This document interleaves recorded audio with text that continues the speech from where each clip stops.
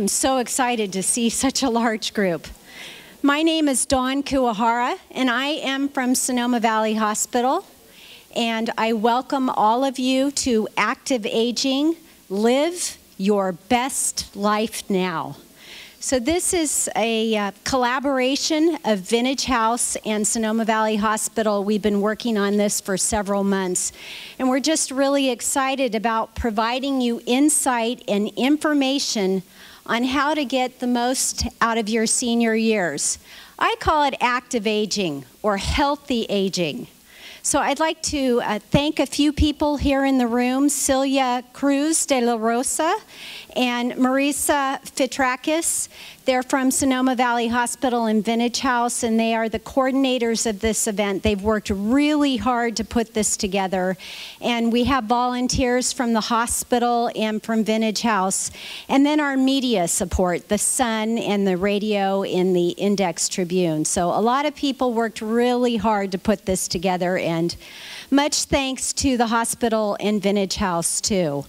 So at this time, I would like to introduce Dr. Dan Stites. He is on the board of directors of Vintage House. Thank you.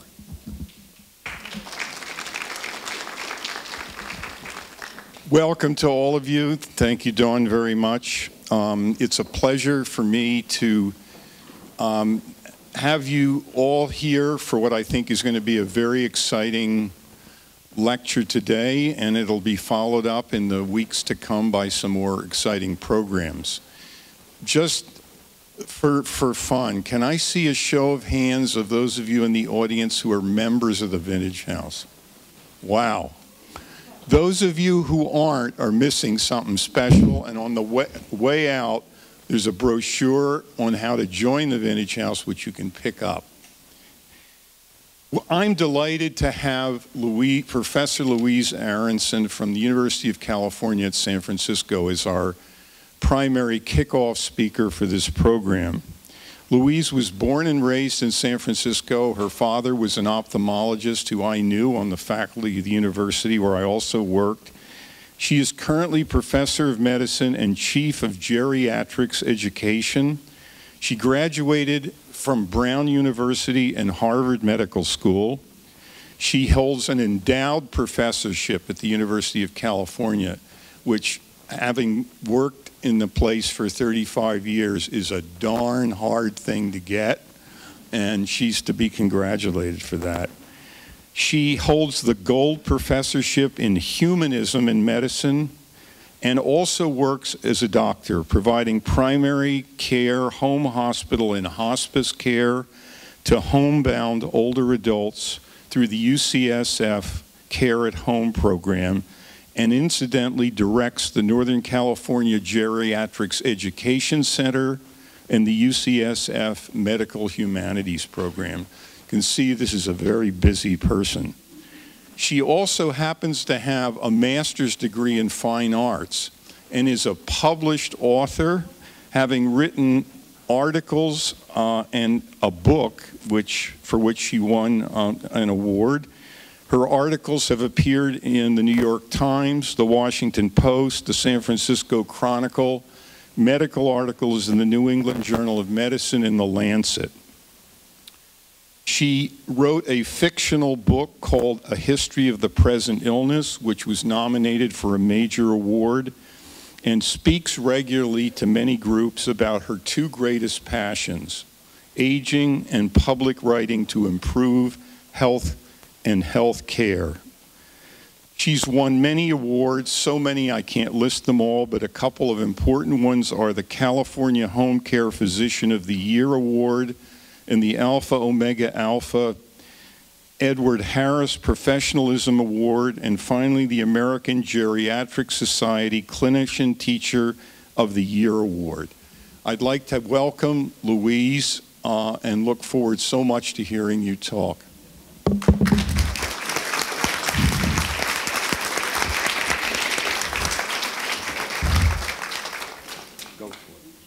Thank you. That was a lovely introduction. Uh, and it's a pleasure to be here. If nothing else, I got to leave my office in the middle of the day, drive for a beautiful hour, and then be with all of you. Uh, so I'm looking forward to the next hour, and I'm very honored to be kicking off this series. I'm going to do a couple of things today, talking about active aging in two different ways. One is I want to activate you, because there are ways where we can all make a huge difference for our aging and for our society. And the other is to talk about how you, ways in which you can be more active to improve your own life. But I'm actually going to start by telling you a story. Um, let me just check. Are you hearing me okay? There's a little echo at my end. You're good. Okay. Uh, so I'm going to tell you a story. This is a story of a 101 year old patient. And he goes in to see his doctor. And the doctor says, So, why are you here? And he says, Well, my right knee is hurting. And I'm just not able to do what I want to do. So the doctor asks some more questions, and the man, he hasn't fallen down. There's, there's no obvious reason. So he says, well, we'll hop up on the table. Guy hops up on the table. He moves the leg. You know how, how we do it. Move the leg up and down, sideways, all this stuff. Can't really find anything. So he says to the man, well, you know, what do you expect? You're 101. And the man looks at him, 101 year old, and he looks at the doctor and he says, yeah, but my left knee is 101 too, and it doesn't bother me a bit. So, one of the big problems with aging is that people use it as an excuse for not doing their jobs or not making the world a better place for all of us. Uh, and hopefully, I will inspire you to make a difference in that way. So, when we hear about aging, we usually get one of two stories. One is that if you eat your blueberries and kale, you will be happy 24 7 and you will have successfully aged. And the rest of us who aren't happy 24 7 are failures, clearly. Uh, so I don't really like that one so much.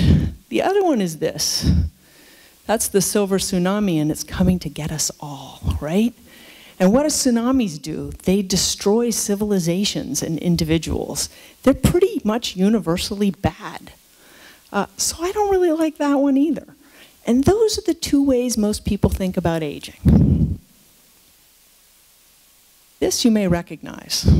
You, I don't know what you see. Maybe you see a glass half full or a glass half empty.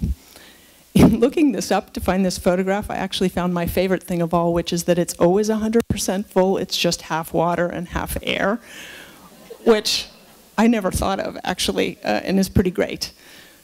So my point here is that it's both, obviously but also what's in there and who you are really matters in, in terms of whether you want this or you think half full is good or bad, right? So what if I were to tell you, yeah, it's half full and you have to drink it, but what's in there is bowel prep, right? What you take before you have a colonoscopy.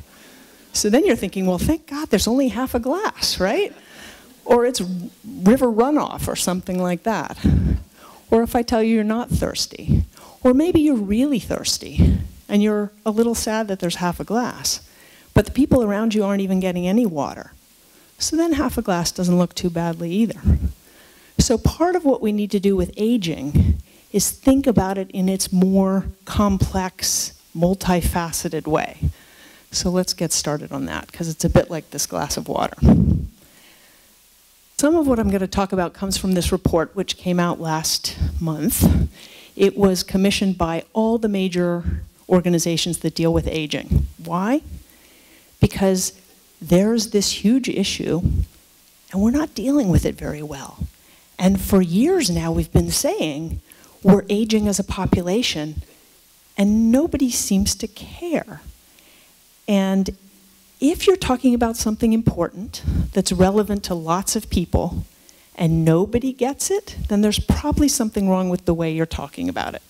So this group, which has won a MacArthur Award, sort of like those Genius Awards, is working on how do we think about this better. So one thing they found is that there are myths, five myths. And the first one is that aging is all bad. There's just nothing good about it. And you'll see this in articles and pleas by people who will say it's a crisis, right? Or well, of course, it's terrible. You know, you lose function and you get old and then you die. And, and so we need to do better with it. But even that is seeing only the bad. Well, it turns out there's actually lots of good things about aging. And we literally don't see them. People are blind to them. So I can see that some people recognize this guy. I was very fond of him years ago. Uh, so just the facts. So what are some facts about aging? Well, one is if you look at degrees of happiness, middle-aged people are much more likely to be depressed than older people. Rates of happiness increase with age, by and large. Are there exceptions? Are there situations in which people aren't happy? Yes, in all age groups. But overall, older people are happier. Confidence. This is a great one. Uh, this actually starts in people's 50s, and they start just feeling more comfortable with who they are, what they like, what they don't like, what they're going to put up with, what we're not going to put up with, right? I can feel this already, and it's fun right? Yeah, the body, the body's doing some things that are a little disappointing, but it's, it's pretty fun to feel more confident and more comfortable in who you are, and we don't celebrate that or take advantage of it as well as we might. Time. My colleagues are all talking about how they don't have any time. There's not enough time for the children, there's not enough time for work, there's not enough time for exercise, there's not enough time for anything. And one of the things as we get older is that there is more time. Now, for some people, this is a problem, but part of that is how we deal with it as a society. But by and large, we have more time to do those things we always wanted to do, or maybe things we never wanted to do because it never occurred to us to do them. Time is a good thing. There's less stress. So stress levels go down because there isn't the juggling on the one hand of the kids and the mortgage and the job and the this and the that and the other. There's less of that juggling. Uh, there's also less trying to prove points. Um, I keep thinking of our governor in that regard, although he still he keeps, he's, he's still going after uh, big prizes. But for the most part, that striving, that needing to prove who you are in the world is less there, and it's more about what would I like to do or what would I like to contribute knowledge. Older people know more. They have bigger vocabularies. They have a greater library of experience to draw upon. And this relates to the next thing, which is emotional intelligence. There are more and more studies that as we age, we become more perceptive about our own emotions, other people's emotions, and more intuitive about what's really going on. I mean, if you think of all the fighting and haggling about everything that's going on in the world. Imagine if we actually harnessed this emotional intelligence and used it to advantage. So there are some good things. There are many other good things I'm going to point out as I go along. But my point is, all we ever hear about is, right, the wrinkles, the slowing down. You don't hear so much about all those things. And that makes people think it's exclusively negative when it is not. So you might recognize this guy too. So this is Rembrandt. And he actually wasn't that old when he died. He was in his mid 60s. But the important thing to know there is that at the time when he died, most people died in their early 40s. So he was actually very old. And if you look at his work, this is him, you know, sort of young, middle-aged, and older. His use of light is tremendous throughout. And if you look at lists of what are his 10 best paintings, according to all critics, at least half are painted in his older years. Was he moving more slowly? Yes. Was he making permanent contributions to who we are as a culture? Yes. Okay, so the first myth was that aging was all bad. The second myth is that the baby boomers are a demographic blip, right? It's this aberrant thing that's happening. It's a one-off in history. So we just have to power through it, right? That silver tsunami is going to hit and then it'll wash over and if you're still standing, it's going to be great. Well, here's the thing. So this is the United States in 2006. But really throughout most of history, I'll, I'll just show you how to read this. It's just male and female on either side. And as you go up, people get older. So these are infants and toddlers, and here are people over age 85. So throughout most of history, this was a rectangle. Tons of kids, tons of young people, and fewer and fewer people as we get older. Now you can see when the baby boomers come along, this part that always was only down here is moving up. But you can also see that the next couple generations are moving up too, because all those babies, they had babies too. They didn't have quite as many, but they had a lot of babies. So human history is moving in this way where we're no longer going to have what we call a pyramid lots and lots of kids and very few older people. What we're going to have is more of a rectangle, which means there are lots of people at all ages. And we need to start thinking about what that means for what we build and what we do and who works and what we value. And we haven't really thought about that. And that is a huge opportunity for creativity and productivity and engagement. It's a real change in human history. And it's not going away. So when people say to you, oh, well, we just, you know, it's this boomer thing. It's not this boomer thing. It's the new normal. All right. So now we have a myth that things are bad and a myth that this population thing is temporary. It's not. The third one is that aging is an individual problem. This one particularly gets me down because several times a week I hear from patients I don't know or from their adult children saying, oh my gosh, we're in crisis. I get emails, I get phone calls, same with all my colleagues, because there's a crisis. And nobody knows how to deal with that crisis. There aren't so there are resources when you're a young parent with a kid who needs help, you know what to do and where to go. You can speak to your friends. But we leave people alone and we make them think, you know, we have schools that, that educate everybody. We have programs for people. We make people feel that they have to deal with the hard parts of aging on their own. Whereas actually, if we had systems and structures, they would not. Um, let me give you, uh, well, I'll come back to that. So I'll, I'll talk here a little bit about adolescence. So the invention of the teenager. Did you realize teenagers were invented? They actually were. So there were not teenagers through most of human history. It simply, they didn't exist. You were a child and then you were an adult. People married and had their own children in their teens. They did a little bit of school and then they went off to work. Then the Industrial Revolution happened. And after a period of time, people kept saying, well, we, we shouldn't abuse these children. And then there started to be more time. And as there was more time, this, these teenage years developed. And the, the term didn't really come into play until the 1920s. That's really recent, right? That's a century ago. And we've been around for millennia. And now, can you imagine life without teenagers? I mean, so much is built around them. There's, there's their music, there's what they do, it's a huge part of who we are as a society.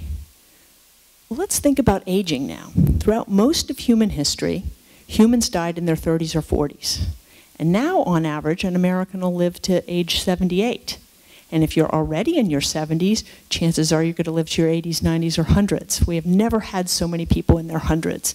In fact, what we hear these days is that older adults, people over age 65, are the second fastest growing segment of the population.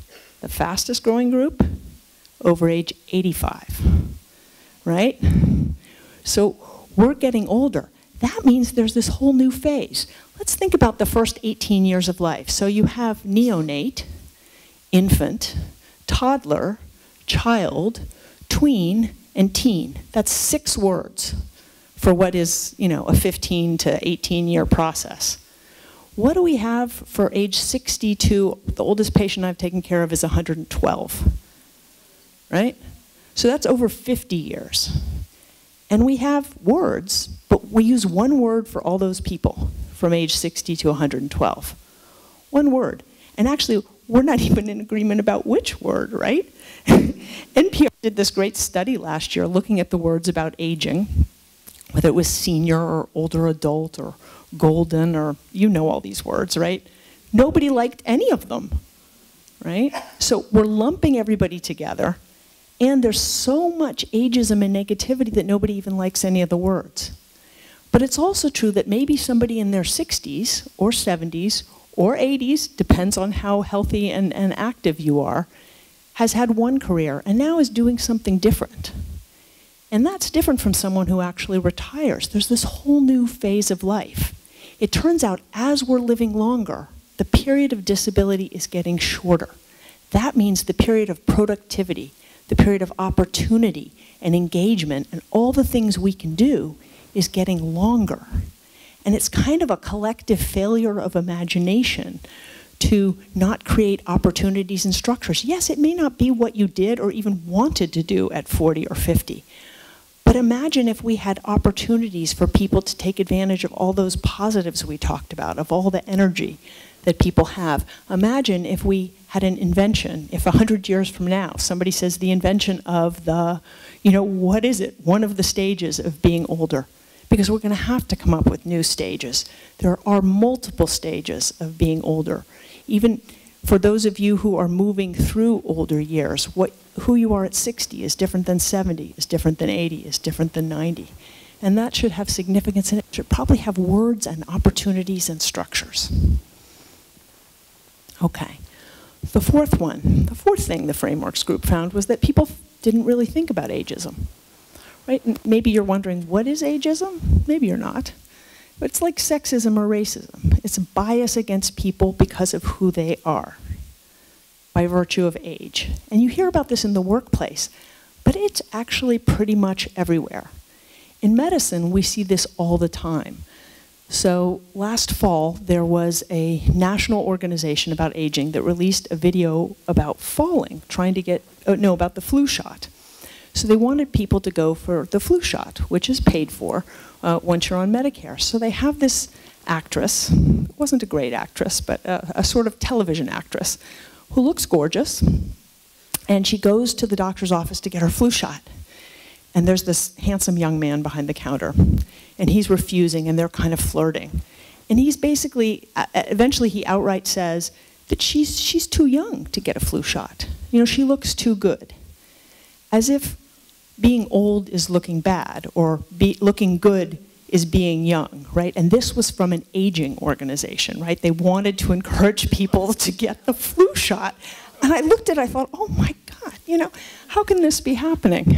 Uh, there was also a prize announced, a million dollar prize for people to cure aging, right? So let's, let's think about something else that, that, that's kind of difficult. Well, right, cure aging. So could we cure adolescence? Could we cure, cure childhood? I mean, I don't have little kids right now, but I have colleagues who do. It's a ton of work, right? They keep them up, they scream, they need to be fed and clothed and all these things. We need to cure this childhood thing because it is just a drag on people. They can't get any work done, they can't get any sleep, right? So, so now we have a prize to cure a normal part of the human life cycle. Uh, there were some other things too. There, there was a study that looked at people in their 90s who had a, a procedure on a heart valve. And what they found was they lived longer than they expected them to. So the procedure kind of helped. And you might think, wow, that's great.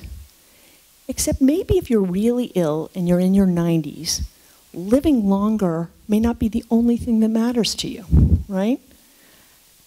Did they get to go home afterwards? Or did they have to live in a nursing home? Were they still able to walk? how was their thinking after that surgical procedure, right? So ageism comes in all these different clothings, right? Uh, to really think about old age, you'd have to think what matters to the person at that stage of life. And it may not just be being alive for a few more months. It may be, what is that life like? And we often don't ask the right questions. So ageism is something people don't see and they do inadvertently.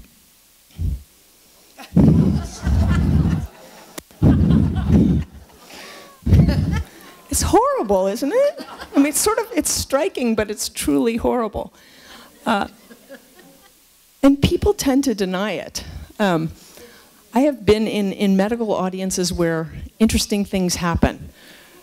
So yeah, so I should read for people who can't see. It says best before March 1973.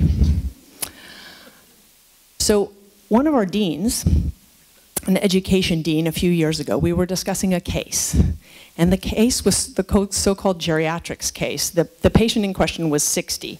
The dean in question was, I don't know for sure, but I'm going to guess 64.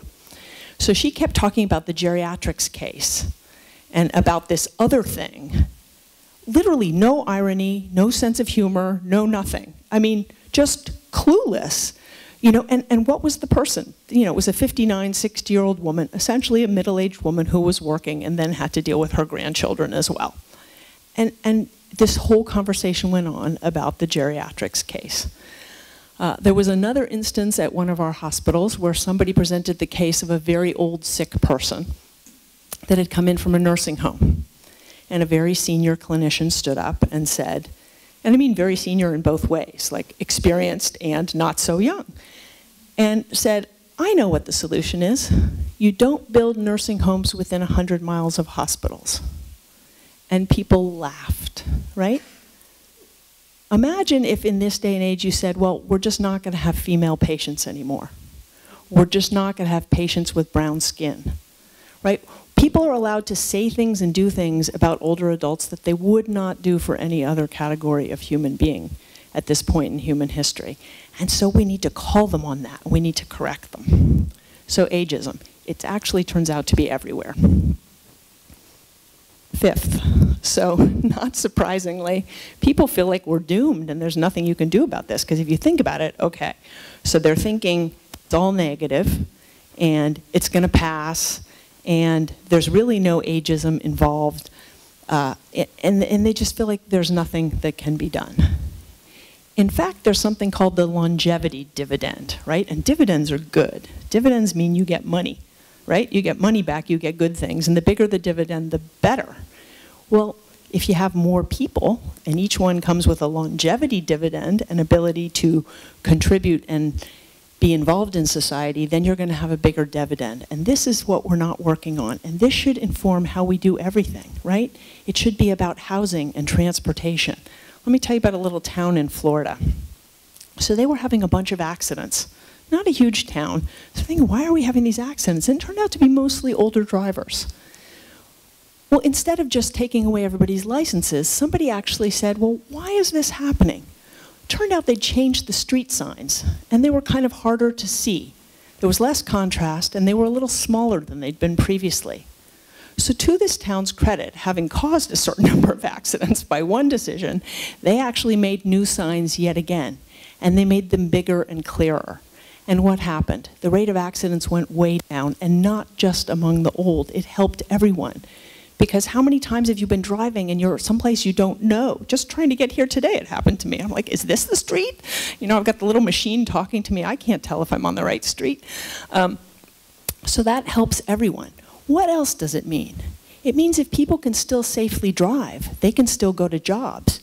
They can still go take care of their grandchildren. They can still go exercise. They can still go out to dinner or to the movies and pay money into the economy and live life and have life, lives that matter and be happier and more active and help every member of society. So changing signs is something we don't do individually. That's something we do collectively, and it's a small example of what we might do on a bigger scale if we're not thinking the whole time that we're doomed. So this guy you might also recognize, Steve Jobs, with uh, a computer. So computers are not that dissimilar from aging maybe, or at least from how people think about aging. The first computers did very specific things. They mostly did it for mostly young men with a particular set of interests. And they were big, ugly things, right? And Steve Jobs, among others, but, but particularly him for the second thing, said two things. One, he said, the limits of what this thing can do are the limits of our imagination. And two, just because something serves a function doesn't mean it has to be ugly, right? so I think of this when I go into patients' houses, as I did yesterday, and there was this big metal handle by her front door. Lovely house that she's taken care of over decades.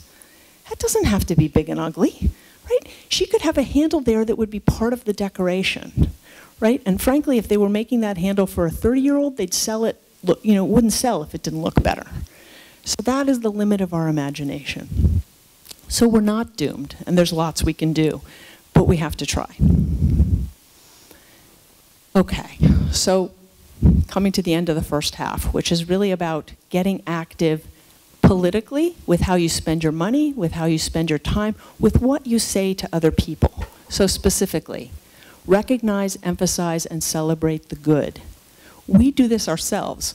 I've reached an age where I'm not considered old yet, but where things are changing. And do I gripe about them? I do. Do I talk as often about all the great things that have happened? I probably don't. So this has gotten me thinking. We all are part of this, and we need to reframe the conversation. Educate others about our new demography. When they say it's a blip, when they say this is a temporary problem, explain to them that it's not that it's the new normal to have an older society, that this matters to all of us right now and for the foreseeable future. Demand community and societal strategies for common challenges. If you're facing something, you're probably, in fact, you are certainly not the only one facing it. And yet we make people face these things alone. Right? For the same reason that the words about aging are not popular People don't want to talk about this. But if we don't talk about it, if we don't insist on common solutions, we won't get them. Call out and counter ageism. By telling those stories to you, I'm starting to do that, and you can tell them to others, plus your own stories, and spread the word that the greatest limitations of aging are there real limitations? There are. But we have dealt with, I mean, we put people on the moon, for goodness sake. We can do some of this other stuff. Come from our imagination and policies, not physiology. So you've got to think about how you vote, invest, advocate, educate, insist, and inspire. All right, shifting gears. So this guy here is a surgeon. He also writes for the New Yorker. His name is Atul Gawande. And he's written a book called Being Mortal, which is really trying to get us to think differently about aging. And one of the quotes I like from this is, we've been wrong about what our job is in medicine. We think our job is to ensure health and survival. But really, it's larger than that. It's to enable well-being. And well-being is about the reasons one wishes to be alive. Those reasons matter not just at the end of life or when debility comes, but all along the way. What I think this is saying, what we tend to say in geriatrics in my field, is that for a long time, the healthcare system has focused on medicine as opposed to health. And health has to do with so many things, where you can go, what your transportation is, what you can eat, and how you live, right? He calls the being mortal, so he's still thinking about how you die. We need to think more about how we live. And that's what I'm going to focus on in this second half. So, changes with age. This is Carmen. When that photograph was taken, she was 103 or 4. Wasn't entirely clear. That's her daughter-in-law, grandchildren, and great-grandson. And this was Honey, the attack chihuahua, who didn't actually bite me, but the dog's self-image was completely out of proportion to its size. Anyway, I mean, really, it comes along, it's crazy. Anyway, so so what happens with age? I'm not going to go over every single change in your body, but I'm going to use a few examples um, that tell us about what, what changes and what doesn't and what we can do about it. So let's start with the brain, because that's a big area of concern for most people. Uh, actually, I was just shown a poem about uh, brain loss with aging. So for a long time, even when I started training, you know, 20, 30 years ago, people would say, oh, this person's senile, as if being senile, having dementia, in other words, and being old were synonymous. The risk goes up, but you don't get dementia by virtue of being old. Not everybody who's old will get it. So what's normal brain function as you get older? Well, it turns out it does change. People can learn just as well, but differently, right? So if you think about the implications of that, if you teach people in the same way and then you say they can't learn, it's not that they can't learn, it's that you've taught them in the wrong way. You see this with kids too, right? They have one way in this classroom and it appears this child can't do it and you teach them another way and they can do it. So it's the same with aging. It's also a little slower. The processing is slower. Uh, I had a student with me last week and we saw a patient who was 95. And I was seeing a couple of patients. So the student went in first and did some mental status testing on this patient. And I was really just having the student practice doing this because I knew, I was pretty confident anyway that this patient didn't have any cognitive problems. So I was shocked when the student comes back and the person's score is really bad. And I thought, my God, I'm losing it, right? I'm, I'm like assessing this wrong and this is why we have these tests and it's terrible. And then it occurs to me, how has she done it? So we went back in and I did it again. But I waited, right? I asked questions and I waited a little longer. And it wasn't that the person couldn't answer the questions, it was that getting to them was a little slower. And she actually got a perfect score, right? So things happen more slowly, processing is more slow, people are more prone to distraction, do less well with distraction. Although I think we all do less well than these kids who are doing like eight things simultaneously, which I don't understand at all. But as you get old, you will have more trouble with distraction. You will have a little harder time getting to something. But normal aging means that you'll recognize it, right? You'll get to it eventually. You just need a little more time. So sometimes we think things are abnormal, or that dementia, for example, is a normal part of aging. It's not, but being a little slower, having a little more trouble remembering where those keys are, that might happen. Okay, the eyes people have more trouble with color, with night, uh, with peripheral vision as they age. And that's because the pupil doesn't open as much. It's not reacting in the same way. Well, what does this mean? This means you're going to need more light. Uh, there are other things that can get better. So this is a way in which medicine can really make a difference. About 10 years ago in my family, all the people in their 70s had cataract surgery. Right? We all wear glasses, or at least we did. And then all the people in their 70s had cataract surgery, and then they didn't wear glasses anymore, and just those of us in our 40s and 50s wore glasses, right? So sometimes things change with age, and then medicine comes along and it invents pretty good things, and then you do even better than you were like decades earlier. So, so that's something else. There are always things evolving. We're always learning things in medicine. So don't just accept things as this is happening to me inevitably. Ask, is this normal? Ask, what can we do about this in this day and age? Okay, next, ears. So as we know, as we get older, things move a little less well. Well, in the ear, it's basically made up of these little bones that are attached, and sort of like our knees and fingers, they don't move as well as they used to, and consequently, people don't hear as well as they used to. And by the time people are sort of much older, into their 80s, 90s, and 100s, almost everybody has some degree of hearing impairment as a result, sort of the parts getting stiff and wearing down. Hearing aids are not a perfect solution, but they make a big difference. So here's the problem. We don't really pay for hearing aids, right? If, if you need a transplant, you know, if you need to be in the intensive care unit for months on end, we'll pay for that. But a hearing aid, we won't pay for. And that's a problem. So they actually did a great study at the, at the Veterans Hospital, um, can't remember where, but a few years ago, where they took all the people on the waiting list for a hearing aid and they tested them in terms of how depressed were they, how well did their brain work, how much were they getting out and being active and they got baseline levels. Then they took half the people randomly and they gave them hearing aids, and the other half stayed on the wait list. Six months later, the people who got the hearing aids, lower levels of depression, lower levels of cognitive problems, right? Much more active and engaged, exercising more, more fit. The hearing aids made a huge difference in quality of life, in function, in people's activity, the one thing we know really helps people stay healthy, and we don't pay for them? That too is ageist, right? That too is a policy that makes no sense. So sometimes you're suffering with something individually, but until we, until we start raising our voices saying that's wrong, right? Why are you going to pay for a medicine that's chance of helping me is almost nil and it costs $8,000 a month, but you won't buy me a hearing aid that will change my life tomorrow? That makes no sense. Same with teeth, right? Teeth, feet, ears, we don't really pay for them. What I would like to see is the people who make these rules deprived of their own teeth, you know, something stuck in their ears, and then they're not allowed to walk. Let's see how they like it. All right. So now I want to talk to you about taking a leap into active aging. So a leap. A, activity. L, learning. E, engagement. A, attitude. And P, planning. And this basically comes down to your body, your mind, your well-being, your mood, and your sense of control.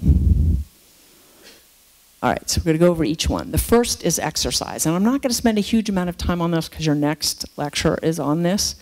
But if exercise were a drug, it would be one of the most effective drugs we have, right? It actually beats most drugs at almost all measures, right? And it doesn't just treat one disease, right? I mean, probably some people in this room take medicines, and certainly we've all known people who've taken medicines, and here's the one for the blood pressure, and here's the other heart one, and here's the one for the diabetes, and here's the one to keep the bones strong, and wait, there's another one for the bones, and here's something for the breathing. Well, guess what? This one, this exercise drug, it'll treat every single one of those problems simultaneously, right? And how much it impacts it is greater than what most of those pills will do for you. Right, and you might be thinking, oh, but exercise, you know, it's a bit like dust. You know, you do it and then it comes back and you have to do it again, and that's a little frustrating. But we have to think of how to make it fun. And exercise doesn't just mean going to the gym. You have to think, what is it you'll enjoy? Or what is it you can pair it with that you'll enjoy, such as a friend who's really entertaining that you can do something with? Can you be dancing? Can you be walking? There is one other thing you should know about exercise as you get older, which is in young people, if they lift weights, they get stronger. And if they run, they get better aerobic capacity. In old people, if they do resistance training, if they do weights and things that really push on their muscles, they get both. Get, you get stronger and you get more aerobic capacity. So you actually get more benefits from certain exercises as you get older. Well, I could go on and on about this. It also treats things like falls, right? Falls are terrible. There was just a study this morning that I'm not going to remember correctly, but one of the top causes of death and injury and institutionalization as we age is falls. Right? And you hear about heart disease all the time and cancer lung disease. How often do you hear about falls? Well, two years ago, there were two big studies looking at everything we know about falls. And as is sometimes typical of a bunch of, you know, medical people in a room, they couldn't agree on much. But what both sets agreed on was the one thing that makes a huge difference, exercise. So if you do nothing else, exercise. All right, this is your brain exercising. Isn't he cute? I know. Very strong, though. So this is learning. Uh, but, but it's also exercise, because it turns out one of the things that helps prevent dementia is, is exercise, physical exercise, as well as learning exercise, right? So back to the physical exercise also helps with dementia, but learning helps as well. If you think about it, whenever you learn something new, you're making more connections in your brain. And if dementia is losing connections, right? So let's imagine someone keeps learning and she's up here with all the connections she has, and someone else sort of doesn't learn so much and she's here. And then they both are starting to get dementia, so they go down. This one stays ahead, right? You can lose the same amount and still be ahead. And what they've found is people who keep learning can delay, even if that's going to happen to them. And then maybe you delay it so that it doesn't happen, right? Uh, something else happens. Because something else will happen to all of us, right? I mean, we sort of act like you can opt out. and, and we can't. So the goal has to be to make life as good as it can be until something happens, because something will happen to all of us. Uh, but learning is a way of giving your life meaning while also helping your health. All right, this is the queen. She is 89 and she's still working. Now, admittedly, she has a fairly privileged life, probably more so than the rest of us in the room. Still, it might be that part of why she's still alive and active is because she's still active, right? She has a purpose and she has meaning, and there is incredible data that having something, and it, it doesn't have to be, you know, presiding over a small kingdom in the Atlantic. Um, it, it can be, uh, you know, your grandkids need you, or you want to teach something, or you want to learn something, or you're coming here and teaching classes. I mean, I don't know, it could be so many different things, but what is it that gives your life meaning? That's going to be different for each one of us, but it's so important. So staying engaged. It's also true that people that have friends and networks and are engaged tend to have better health. It's not totally clear how that works, but it's clear that it's true. Now, some people are shy, and they never had big social networks. So now there are computers, and that's actually helping some people. It's not clear, but it might be that that kind of connection helps too. And if you're engaging with the computer, you're engaging with something. So again, you need to adapt it to who you are. Okay, attitude. When they look, there, there's this great study of centenarians, so people in their hundreds, and when they look at them, they tend to have really positive attitudes. This makes me convinced I might not be 100, although I was pretty convinced of that anyway. Um, but, but so, right, you know, so some of us have better attitudes than others of us. And that's a hard thing to fix. But what I take from this is uh, two things that we can do differently. Try and actively think about yes, these horrible things happen, and it might depend on how recent and how horrible, right? Sometimes horrible things happen, and it's totally appropriate to be sad and angry and everything else. Um, but other times it's about saying, well, what's good? Or how can I shift how I think about this or how I deal with this um, to have a more positive attitude and to just make it better for you. Um, so looking on the brighter side, um, there was, you know what, I'm going to actually have to cheat and look at this because I can't remember what the other good thing is, which is pretty interesting. I told you I'm not going to live to be 100. I know what it was. It was worth looking. Okay. So sometimes I have patients who have the exact same problem. And sometimes that problem is that they need a walk to walk safely. And they don't want to have a walker to walk safely, right? I mean, we don't get a lot of people coming into my office and saying, ooh, you know, could, could you prescribe me a walker? Because I'm feeling good about that. That, that doesn't really happen. But here's what does happen. Some people get their walker and they think, ooh, I'm going to be on my walker, and everybody's going to see and they're going to know I'm old. Okay, well, so on the first place, often it's already kind of apparent. So, um, so there's that. Uh, but, but probably more importantly, the people who say, I wish I didn't have a walker, but if the walker's going to keep me from falling down and keep me out of the hospital, and the walker lets me keep going to the vintage house to hear a lecture, or to dinner with my family, then I'm going to take the walker. And those people seem much happier. Why? Because they're still getting out, they're still doing all the things they enjoyed. They wish they didn't have the walker, but they've got the walker and they're working with it. And the other people are at home and they get more and more sad, right? So that's a way in which we can all say, I'm going to choose to make the best of what I have. And because I have this walker, I'm going off to the theater tonight. Okay, so the three bears, too soft, too hard, just right. This has to do with planning. Planning doesn't happen as much as it might, right? And we talked about how for the human race, so far, mortality is holding steady at 100%, right? So we can be ready or not. And frankly, for life, we can be this way, right? Most people want to stay in their homes right? They're, they're not signing up to go somewhere else, although, you know, sometimes you do. If you want to stay in your home, what can you do in advance of the crisis? Because what happens, what I see often is for people who haven't planned, the crisis happens, the adult children swoop in, right? They're busy and stressed. We already talked about how stressed middle-aged people are, right? It's terrible. They're stressed, and they're very worried about safety, and they're a little bit less worried about happiness and quality of life because they're worried about safety because they love their parents. And they feel like if I just put them here, then I won't have to worry so much. Right? But if you've planned, if you say, I've got this in place, I've got these rails, I've got this system, I, I don't need these stairs anymore, I don't need that room anymore, or I've already moved to a place that's going to work for me, then you have control. And that relates to planning about other things too. You know, what do you want to have happen? What do you not want to have happen? Should the worst happen? And part of that is really hard to predict, right? So probably one of the most important things you can do about planning is have one and maybe two people that you know know you and that you've told what you most hope for and what you most fear in your life.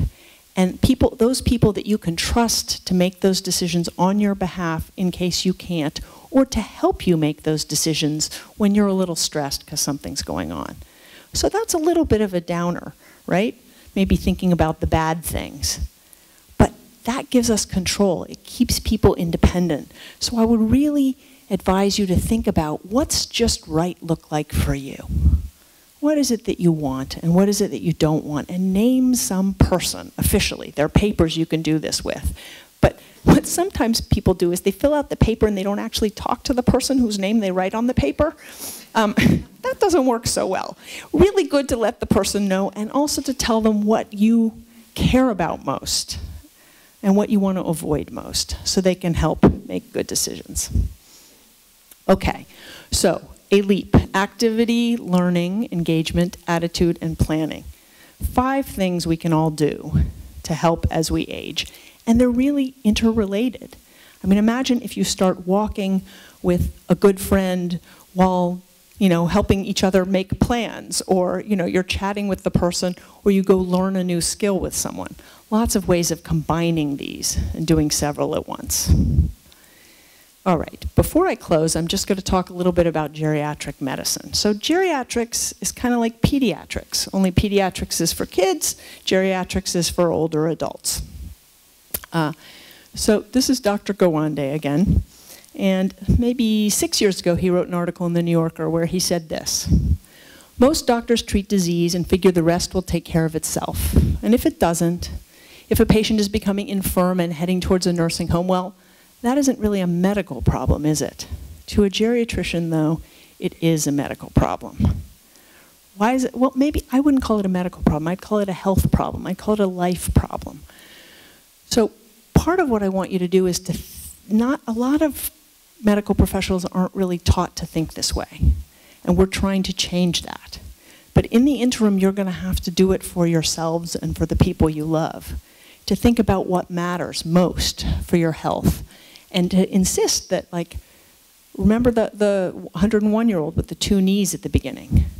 When a doctor says it's just because that knee is old, it might be that you need a new doctor, right? Okay or a new knee, right? Very good. Um, so this was an article I wrote recently about a patient I met one evening uh, coming out of an appointment I was having. I was a patient, uh, and I saw her going in and I saw her coming out. And she was in her 80s. I didn't know her, but by the time I came out of my appointment, it was dark, and she had a walker, and she was just leaning there. And it turned out she'd been trying to get a cab unsuccessfully and her cell phone had died. And she had this cool thing on her cell phone which allowed her to call a cab really easily. The problem was it sent the cabs to her house, and she was actually at the medical center. So technology can be really good, but you have to think through the, the process. Uh, so I helped call a cab, and a cab came, and then it saw her, and I was helping her walk towards the car, and she was lovely, actually, great sense of humor. We were having a good time. Um, she had a native San Franciscan as well. Uh, but she moved a little slowly, all the more so because she'd been standing there for an over an hour and it was freezing at this point. It was December.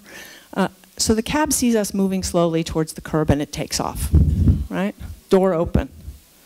So I hail another one, a, a cab comes from another company, it drives off too, right? I feel like this is a metaphor for what happens in society all the time, but also it's a specific cab problem. Anyway, I end up driving this woman home. She's now in our house calls practice. She's not my patient, but, um, but she is in our practice. And she had 49 steps, I think, up to her house. Right? There, were, there were some landings, and she had really bad arthritis. She had a host of medical problems. We talked to her, you'd never really know. I mean, you could tell when she moved, but she was fantastic. So she had, was only just retiring. I think she was 86 or 7.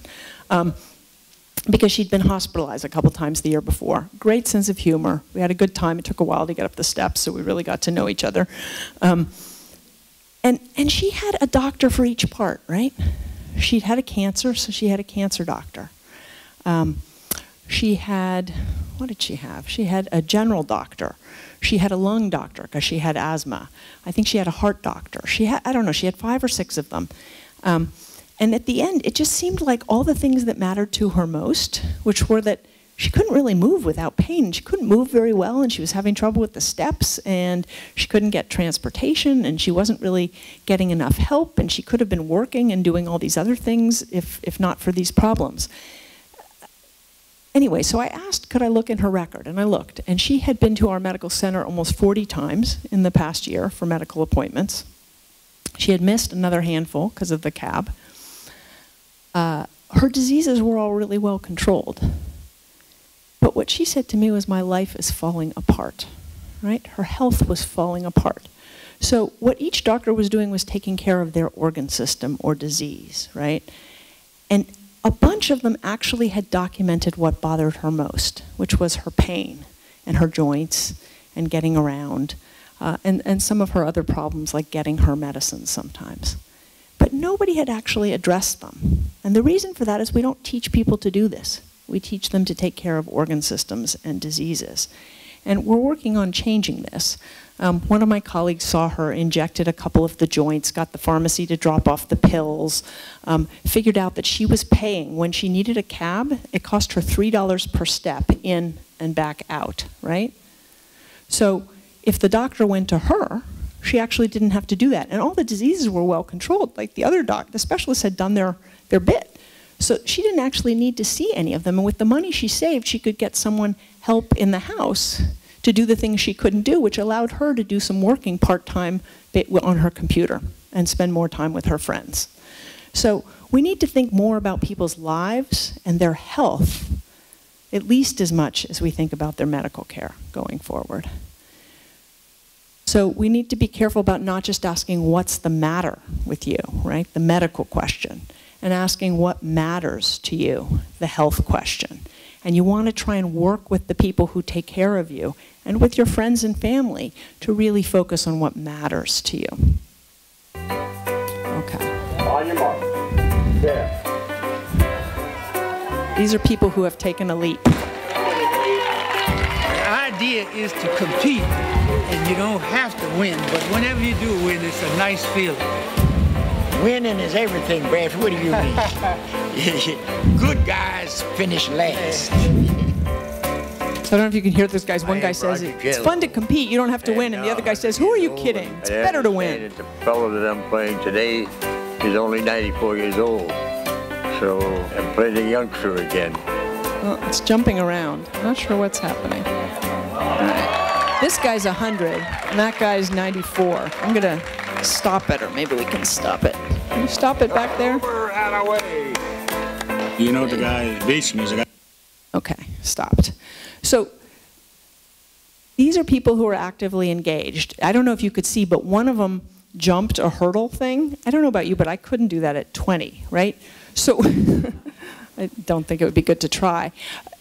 You know, and, and are they moving slowly? They, they are moving more slowly than they used to, but they're moving. They're having a great time. And it's part of that attitude, which is probably partly why some of those people are in their 90s or 100s, and that's what we can do individually. But I think at least as important um, is what we can do as a society.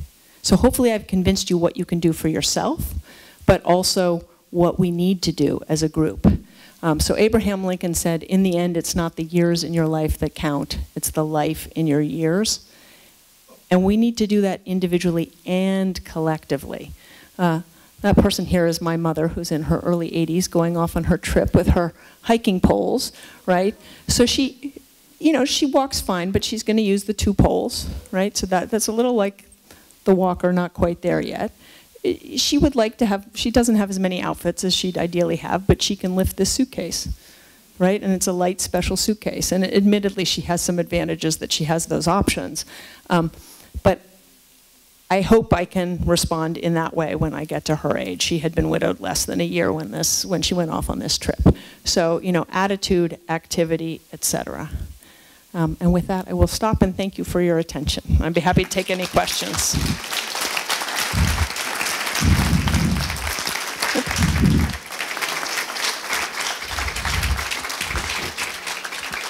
I know Dr. Aronson is going to be willing to answer all of your questions, but I'd just like to make a comment how fortunate we were to have her and how fortunate the University of California, which is where I spent my whole career, is to have her as a faculty member teaching the future generation of doctors. What a wonderful person with wonderful ideas and a terrific approach to medicine, which I certainly didn't experience in my generation. Thank you so much, Louise.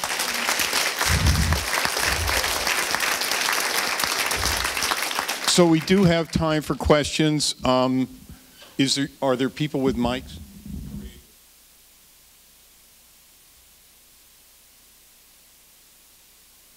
Anybody raise their hand, I'll bring the mic.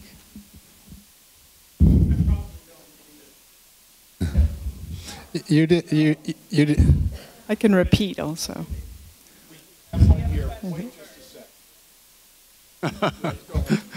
well, you didn't talk um, very much about uh, keeping your mind active, uh, and I wondered if you had certain um, recommendations. Was it learning new languages or whatever that uh, we could profit from? Aha, so more specific recommendations about uh, keeping your mind active. What turns out it kind of doesn't matter what you do, on the one hand, for what we know now. People are studying this now. They, as, as part of this attitude of like you get old, you lose your mind, people only recently started studying what we can do to not have that happen. Um, so we, they haven't looked at too many specific things, but it turns out whatever you're learning, it's just learning something new you didn't know before. So it can be a language, it can be a craft, it can be reading a book and learning and looking up words. Um, it can be an activity. It really doesn't matter. What you want to be doing is sort of stretching your brain in ways you didn't before and making sure you're learning. Um, one good way of doing this that, that you know people are selling these tests and, and sort of activities that you can do to engage your brain. Um, and that'll cost you money, and if you find them fun, great. I, you know, there's some data on some of them. But for free, you know, you can go somewhere and take classes, right? I, there must be things here where you can do that. There's yeah, lots of them. Yeah, in San Francisco, there's the Fromm Institute, and people go and take classes and learn things and discuss with each other, right? So then you get the social engagement, you get the learning. Um, depending on how you get there, you could do some walking to find your classroom, right? So you can really add them in. But it really doesn't matter what you learn. So I think it's a bit like exercise. You have to pick something you actually want to learn, or you'll stop doing it right? So it doesn't matter so much which exercise you do or what you learn, it has to be something you're going to keep doing. That's probably its most important characteristic. So good and bad news. Yes. There seem to have always been enough pediatricians around to serve as primary care physicians for infants. Is there any hope that that'll become the case with geriatricians and seniors? So this is like my life's work in the past few months. Um, uh, let's see. Probably not in the near future, but, uh, but with a few caveats. Number one, finally, students are starting to really be interested in larger numbers. Um, we just looked at our life cycle course. it's changing, but our life cycle course has 87 modules. Four of them are on aging. Four right? There's basically nothing between 20 and 75, and then there's four modules on 75 up. Anyway, um, but the students were saying we didn't get enough, and that didn't used to happen. Uh, and we're finding more and better trainees. But it takes a lot of years to make a doctor. So we're not going to have enough in time. What we're trying to do now is A, change the rules so the other thing that happens in medical school is that there are required rotations, and this is true also in nursing and pharmacy and social work. It's like across the health professions, um, where everybody has to have a certain amount of different things, including pediatrics. Uh, but there's no requirement for geriatrics. And yet, so kids are 20% of the population, and they're about 6% of hospitalized patients. And, and, that's good. Like we don't need more sick children in the world. That would be horrible, right? You know, I'm not, not saying we need more sick children by any means. Uh, but older adults are currently 14% of the population, and they tend to be over 50% of the hospital days. And so we teach what? We teach nothing. It's insane. Um, so we need to change the requirements. I'm hoping that will happen in the next five years. Uh, the other thing we need to do is teach everyone who takes care of older adults how to take care of older adults, right? Um, you know that you don't want to take your kid to an adult doctor because there's very good evidence that the adult doctor won't do as good a job. Well, the exact same thing has been shown with older adults, and yet we don't really train people. Um, we're going to start, and more and more people are showing interest. Previously, it was a hard sell. But increasingly, people are recognizing they don't know what they need to know. Um, so, so you know, emphasizing training people in what's different and how the approach is different is going to be our best bet. Because if you look at different fields, um, they spend somewhere between 30 and 70 percent of their time, and that's whether you're an eye doctor or a neurologist or an orthopedist or a general surgeon or an internist or a cardiologist or a cancer doctor or anything else. They're taking care of lots of old people. And, and old people are the people most likely to be harmed by medications and by treatments and to get care that isn't in keeping with what they really want. Um, I don't know if, if any of you ever want to look, there's a journal called Health Affairs, and there's a piece this month, um, they have a section called Narrative Matters, which is basically stories. So it's not all the other articles you may or may not be interested in, but this Narrative Matters things. And there's a woman talking about her 94 year old mother going to the hospital. And this woman apparently was the head of the Denver health system, a physician, and had advocated for standard approaches all her career and had been really proud of their better outcomes with standard approaches. And then she shows up with her 94 year old um, mother who had fairly advanced dementia. And she realizes that every step along the way, the standard care would only do harm to her mother. And she says, I was right about standards sometimes, right? But, but we need different standards. The way you take care of a, a healthy 50-year-old must be different than the way you take care of you know, a person in their 90s. So I think we're going to make progress, but you're right. We need, we need geriatricians the way we need pediatricians, and not in the foreseeable future, but we're working towards it. Okay, quick follow-up then. Are you accepting new patients? I actually, there's a whole group of us who do good things, but um, yes, in San Francisco. um, uh, thank you, Dr. Aronson. Um, we really enjoyed it. Uh, I just wanted to give a shout out for um, for yoga as a as a in particular the women. Um, I noticed that in your your pictures, there's a lot of men stuff, and guys are, tend towards doing things like that. Mm-hmm. Um, my mom turned 90 a couple of years ago, and uh, somebody just kind of on a fluke recommended we check out the yoga up here, and we can't stop. You know, and great. it's and it's a, it's a growing community of, of aging, but it's certainly made um, our time together more valuable and and uh, enriched and um, it's something that we're able to do together. And I think that people are afraid that they can't start at any point, but she's 90, 92 now. Been doing it almost three years now. Right. So. That's great. Yoga, Tai Chi, both, you know, they're really good. And those have some advantages in a couple of ways. Um, one is you're building strength, and the other is you're building balance. So really helpful for falls, for tension for all kinds of things. So yeah, yoga and Tai Chi are both great. The one thing, there's a great Tai Chi study um, where if somebody has already had a fall, it's really bad to start in Tai Chi by standing on one foot, right? you heard it here first. Hello, hello, hello. Go. Um, I had a kind of a specific question. Uh, it had to do with the planning issue. Um, this, I don't know if you can answer this or not, but I live in a condominium where there's a couple of steps out in front of my uh, front door and a couple of steps in the back, and my wife's a little clumsy, and she's kind of concerned about as we do get a little bit older, tripping, and we've had a couple issues. And since we live in a condominium, um, I've called uh, the person in charge, the president, to find out what the possibility of having. I've seen portable ramps. I've seen the possibility of maybe putting in some railing along the sides of the steps to help stabilize things.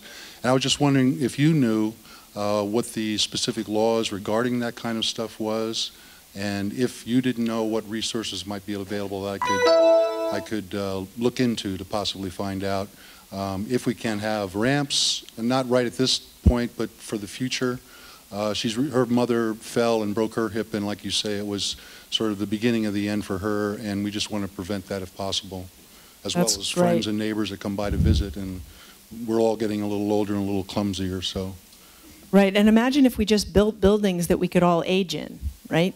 Because it actually it costs the same to build it the right way in the first place but we don't think of it. I see a bunch of patients in apartment buildings in San Francisco that have elevators, which sounds great, right?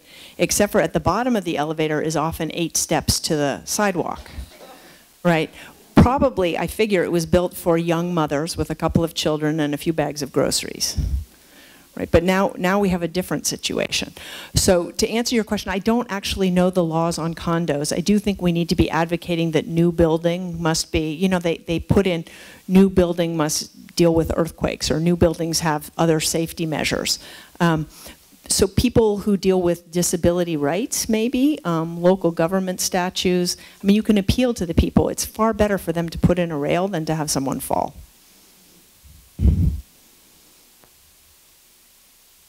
So we just we have somebody here who's a wonderful example of staying active and exercising. Howard is 91 years old and he takes part in yoga and Yes, I come to yoga and I come tomorrow morning. If you want to sign up, class starts at class starts at 9:30 and to get here I walk a quarter of a mile and then I walk a quarter of a mile to go home. We'll see you tomorrow. Excellent. I've That's got great. question for, for Dr. How did you get interested in it? Or another way of asking is why pediatrician and That's a not good question. cardiac surgeon? Well, first I thought I'd be a pediatrician, and then I did pediatrics, and it felt to me like child torture. Like was one night we were sticking this two-year-old, and she's screaming, "Why, mommy, why?" And we're sticking the needle in her, and it goes on and on. And that was it. So that was it for peds. Anyway, then I found I really liked adults. So, but I still didn't think I would do geriatrics, and then um, I was just in training. And I think two things happened. One was I had a clinic that happened to be older. I mean, people would get different clinics. Like this person has people, with, a lot of people with heart disease, and I just happened to get a fair number of older patients. Um, and I found I loved it. And I think I loved it for a few reasons. One is I really, uh, pe- people make jokes in medicine. I love science. I love people, or whatever. And I love people, and I like science a lot. Um, but, but I wouldn't say, you know, some people are in it for the science. I never was. And if you like people, chances are you like stories. And the longer people have lived, as we saw, they have more experience, better stories. There's just, I don't know, there's more of a human being there than a 20 year old, and I find that interesting. So I liked that. Um, I also liked that in order to take care of an older adult, you can't just deal with the problem, you have to know the person. It's kind of related. But if a 20 year old breaks their leg, you can put a cast on it, hand them some crutches, and say bye, right? But if someone was already a little unstable and they break their leg, then maybe they can't use crutches so well.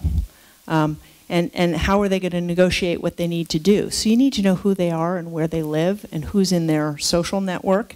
And you need to think more creatively about how we're going to keep this person fit while the cast's on. How are we going to deal with the other medical problems? Who are we going to call? How are we? And I like all that stuff. Some people don't. They just want to put a cast on. But that, does, you know, one cast is like the next, but one person is entirely distinct from the next. And so it's fun to deal with those challenges. And I think that's where we get into trouble with aging too, is people think like, oh, that's horrible and complicated. Well, most of the things worth doing are complicated and require creativity, and meeting it in that way is fun. So that was how I ended up. I just, I didn't mean to. also had a great grandfather. Excuse me.